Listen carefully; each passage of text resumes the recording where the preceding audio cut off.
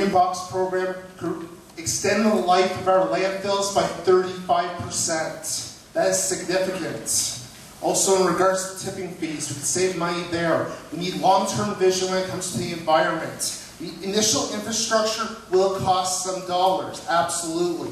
The long term, we can save a lot of money.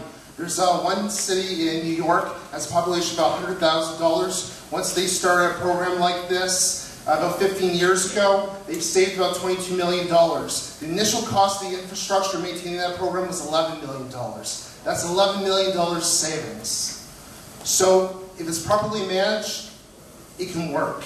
Also, in regards to greenhouse gases. Am I out of time? No, I got, I got time. All right, it will reduce greenhouse gases.